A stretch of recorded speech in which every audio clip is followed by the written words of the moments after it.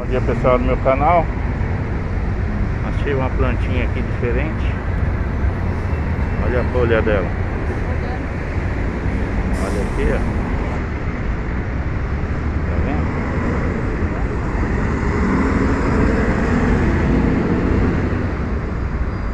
E assim vamos terminando esse vídeo.